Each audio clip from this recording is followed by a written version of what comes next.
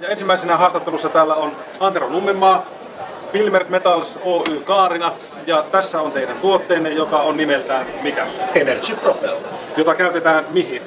Esim. saunassa, porimatin päällä, muun päältä antavan lämmönlähteen päällä, puuhellan päällä. Se tarkoittaa sitä, että se tasaa ja jakaa lämmön. Eli lämpö ei mene kaikki sinne kattoon, vaan lämpö on myös lattialla. Säästytään puitten poltolta. Normaalisti menisi kolme pesällistä, tänä vuonna menee yksi pesällinen. Koska lämpö lähtee heti leviämään koko huoneistoon tai saunaan, kun propelli lähtee pyörimään. Ja se toimii lämmön johteesta, eli ei tarvitse ulkopuolista sähköä, vaan mitä enemmän tulee lämpöä alhaalta päin, sitä kovemmin propelli pyörii. Jopa 2,5-3 kierrosta minuutissa. Ja tässä valmistusmateriaali on metalli. Alumiini pääasiassa ja laakeri on ruostumatonta terästä, eli lähes ikuinen. Ja alaosa Alaosa- on säädettävä. Alaosa on säätöpelti, kun Suomessa on noin miljoona saunaa ja on miljoona erilaista saunaa. Niin jossain se toimii pystyssä, jossain vähän enemmän vaakatasossa. Jokainen saa silloin asennettua tämän saunaan, niin itse määrätä sen hyvän kohdan, milloin se pyörii kaiken kuvitetun propelli. Kuinka tämä asennetaan? Tähän tulee mukana kiinnitysrauta seinään. Se kiinnitetään kahdella ruuvilla seinään ja laitetaan vapaasti roikkuun siihen päälle. Tai vaihtoehtoisesti kattokannakkeella, roikkumaan kattokannakkeesta.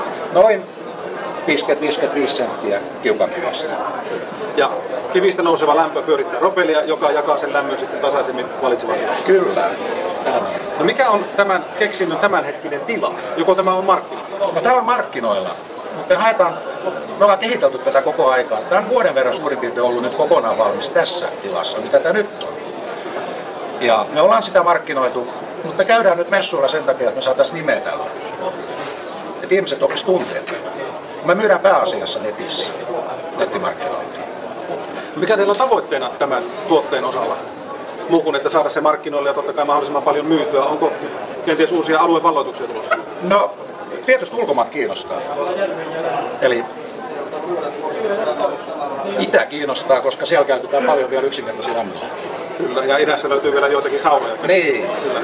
No miten tuota, nyt ajatellaan, ajatellaan tätä äh, kotikäyttäjän näkökulmasta. Puhuit porimatista, Joo. hellasta. Voisiko olla niin, että on kolme kannatinta porimatin, hellan ja saunan yläpuolella ja siirretään tätä paikasta toiseen aina tarpeen mukaan? kyllä, se on aivan mahdollista ja se on jopa ihan järkevää. Kun ei tarvita kuin yksi, kun tuskin kaikki aina yhtä aikaa käytetään.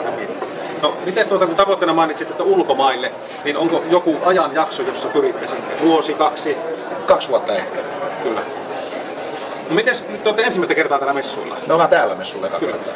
Mitkä on fiilikset näin ensimmäisen päivän osalta? Erittäin hyvät. Täällä on ollut, ne on ollut todella hyvä. Siis todella tervetulleita ollaan oltu tänne.